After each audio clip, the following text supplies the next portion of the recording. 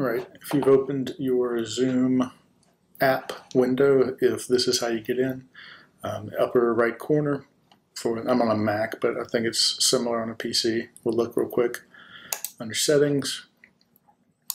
Um, what I'm going to do is go to audio and uh, under advanced, there we go.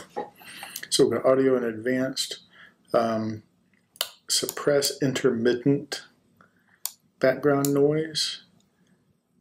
Uh, we're going to try that. I think that's what we want. And this is with a, um, my account is is a uh, like a commercial account.